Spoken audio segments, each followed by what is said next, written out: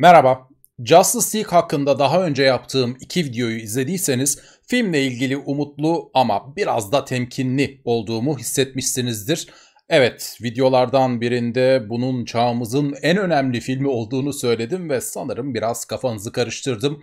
Ee, özellikle videonun tamamını hatta hiçbir yerini izlemeden gelip saçmalama diyen falan oldu. Ama izleyen ne dediğimi anlamıştır herhalde. Yani aklıma George C. Scott'ın Patton filminde aldığı en iyi oyuncu Oscar'ını ya biz aynı rolü oynamadık ki nasıl kimin daha iyi olduğuna karar veriyorsunuz diyerek reddedişini getiriyor bu durum. Ee, bu sefer iki farklı yönetmen aynı oyuncularla aynı senaryo olmasa da aynı konuyu çekmiş ortaya gündüzle gece kadar farklı bir iş çıkmış. İşte bu tarz bir karşılaştırmayı yapabileceğimiz tek film olduğu için önemli demiştim. E, temkinli olmak elbet iyidir ama bu sefer gerek yokmuş çünkü bu film gayet olmuş.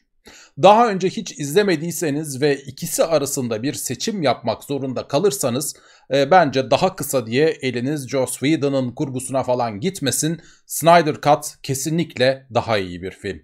Hatta Zack Snyder'dan izlediğim en iyi DCEU filmi, e, kariyerinin en iyi filmi diyenler de olacaktır tabii ama Watchmen'ın yeri kalbimde ayrı. Şimdi bu videoda sürpriz bozan ifadelere yer vermeyeceğim. Yani spoiler olmayacak. E, konusunu da anlatmayacağım ama fragmanları ya da 2017'de çıkmış olan kurgusunu izlemiş olduğunuzu varsayıyorum. Ona göre çünkü filmde kim var kim yok sayacağım.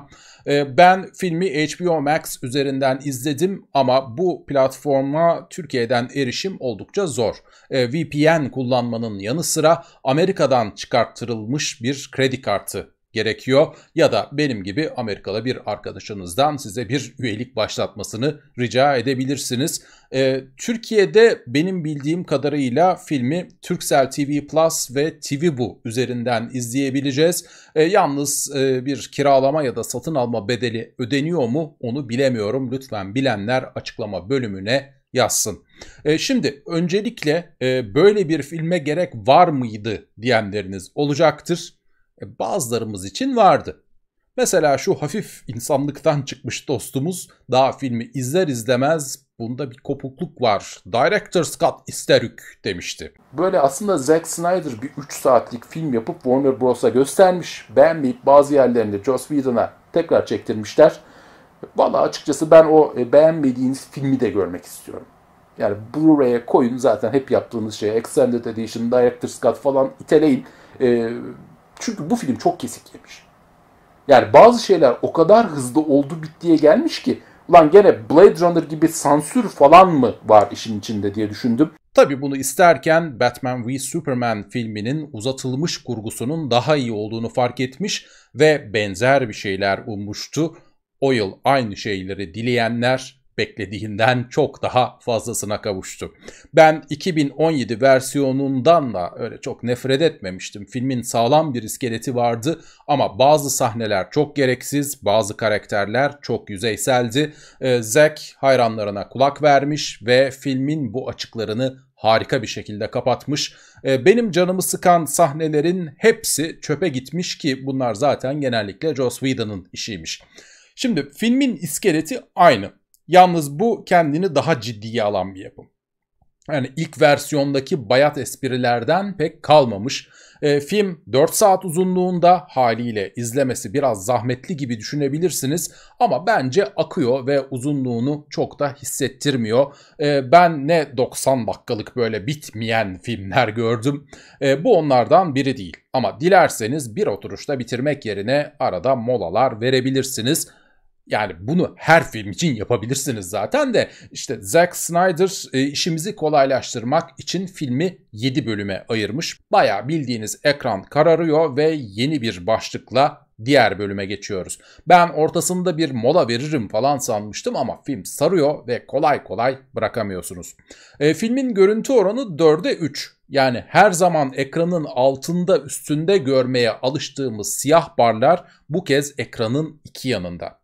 IMAX perde için böyle çekilmiş TV'de alışması biraz zaman alabiliyor. E, yalnız görüntüyü alttan üstten kesseler cidden çok fazla detay kaybedermişiz. Bunun internette karşılaştırmalı örnekleri var söylenmeden önce o videolara bir bakın derim. Filmin konusundan bahsetmeyeceğim demiştim ama karakterlerden biraz söz edelim. E, kötüler takımıyla başlayalım. E, Darkseid'la ilgili kocaman bir video çekmiştim zaten. E, filmin baş kötüsü o değil ama varlığını her an hissettiriyor. Desad ve Granny Goodness Şimdilik kenar süsü onlarla da pek işimiz yok ama asıl kötümüz Steppenwolf ilk versiyona nazaran oldukça geliştirilmiş. Yani sadece görsel olarak değil motivasyonunu da açık bir şekilde ortaya koymuşlar. Ayrıca ilk filmden çok daha gaddar ve güçlü Themyscira sahnesi falan vay dedirtti.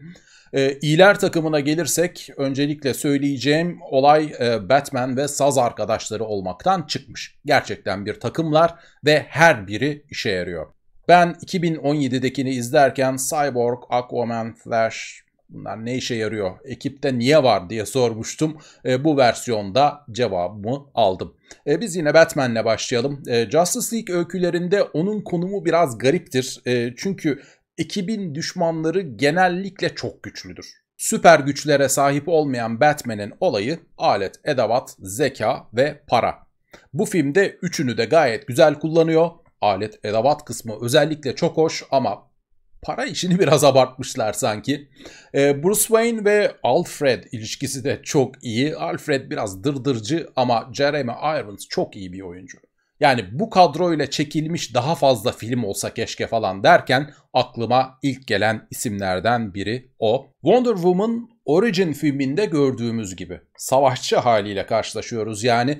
E, bunu özellikle belirtiyorum çünkü çizgi romanlarda da kılıcı kalkanı bırakıp daha barışçıl bir karaktere bürünmüştü bir ara ve biz bu haline o yeni filmde yani 1984'te pek alışamamıştık. E, burada yine grubun en iyi savaşçısı ben hala açılıştaki müze sahnesine çok da gerek yoktu diyorum ama bu tamamen filmin uzunluğuyla ilgili. Çünkü karakter tanıdığımız bir karakter. Daha evvel Origin filmini görmüştük. E, sinema versiyonunda görmesem gözlerim aramaz bu sahneyi ama bu kötü olduğu anlamına gelmiyor. Tam tersi çok iyi.